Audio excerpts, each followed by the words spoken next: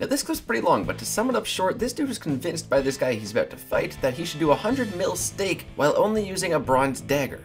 Weird, I know, but some people think this is a good idea. So let's watch and see what happens. Oh, this is ridiculous. The stupidest thing ever. This is dumb. Bronze dagger, 100 mil stakes. Like, fuck off. Could have did like rubber chicken, 100 mil stake. that would have taken I love a this kid's style so much. Like, I don't care if he's scamming. He's hilarious. His style. He did, he said like two words the whole time. No, he didn't. He has to Exactly. bronze 2H or to iron 2H fight first. He's a man He of few Renos. words.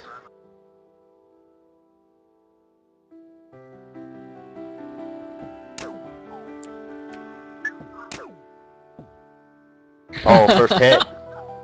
Yes, to advantage. Wow, dude, you're like owning that. Now, did you see that? Oh, what?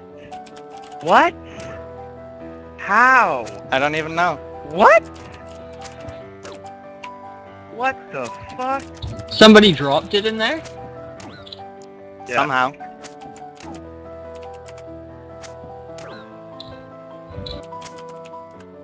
My face, you still win. Oh. Well, What Yeah, Kieran. Good that fight. was as expected.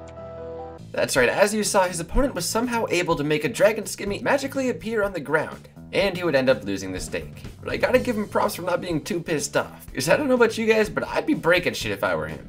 Meanwhile, SaintzRs was doing some pure PKing in Edgeville, and he's pretty much owning this guy with the dragon long. He's like, ah, he's got a D long, he's not gonna do anything, and then this happens. What? What? Damn, that's almost as embarrassing as this.